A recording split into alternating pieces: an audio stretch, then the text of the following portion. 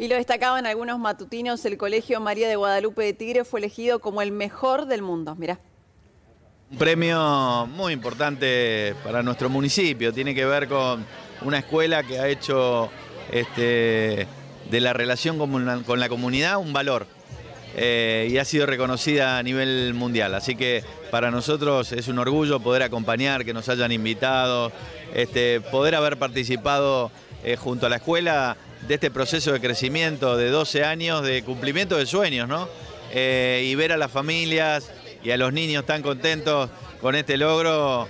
Bueno, creo que lo dije en el discurso, esta escuela es un faro inspirador para muchas escuelas del municipio de Tigre que van a ver en el proceso de crecimiento que ha tenido esta escuela y de relaciones con la comunidad, este, un motivo para, imitar. Bueno, esto también es un premio de reconocimiento al trabajo que hacemos con el municipio porque articulamos muchísimo con ellos, con todos los equipos. Eh, nosotros trabajamos a veces con realidades muy desafiantes y el municipio siempre está muy cerca acompañando eso.